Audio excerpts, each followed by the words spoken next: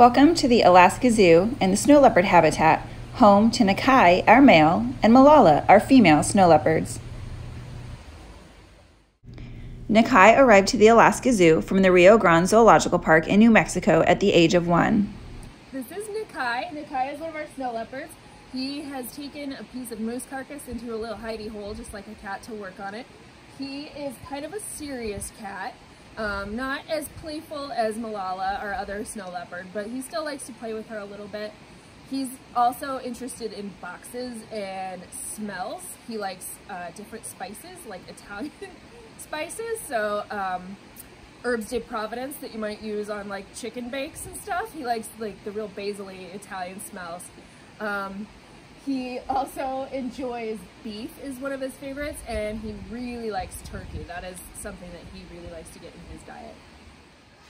Malala was born at the Central Park Zoo in New York in 2014 and arrived to the Alaska Zoo in 2017. Malala was born with ectopic cilia, or hairs that come in contact with the surface of the eyes. She has had surgery to correct this. Hi, this is Malala. Malala is one of our snow leopards, and she is really fun to take care of. She enjoys attention from her keepers, um, and she really enjoys food. She enjoys all kinds of food. Uh, she eats a lot of beef, but chicken is one of her favorites. And for a cat that is normally found way high up in the mountains, she has a very unique taste, which is seafood. She really likes salmon and shrimp and uh, sometimes scallops, things like that. So it's always kind of fun coming up with uh, different seafood for her to try out. She's sort of a goofball, um, she is really good at playing with her enrichment. She likes tearing open boxes. All cats like boxes, and Malala is no exception. Um, today she's eating carcass, and so that's that's also a very popular one for her.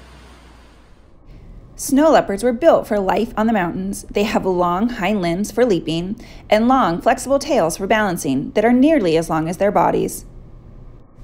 Snow leopards are opportunistic predators, and what they eat varies depending on their location. The three most important prey species for snow leopards are blue sheep, Asiatic ibex, and the argali. Other commonly utilized prey by snow leopards out in the wild includes musk deer, tahr, marmots, pheasants, and other small birds. Snow leopards are well adapted for life in the cold with long fur, including a woolly undergrowth covered in rosettes that allow them to blend perfectly in with the rocky slopes. This training session shows zookeeper Sam Lavin training Nakai, our male snow leopard. These behaviors include things like stationing and targeting and body positioning so that Sam can check out Nakai every day to make sure that he is staying safe and healthy.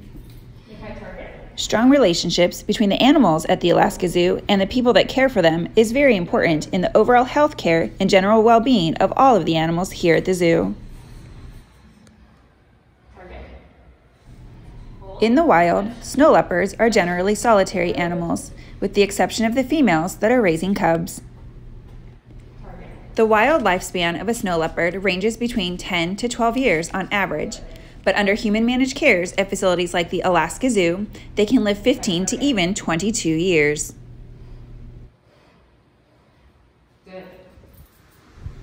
We hope you've enjoyed learning about Malala and Nakai and look forward to seeing you at the Alaska Zoo.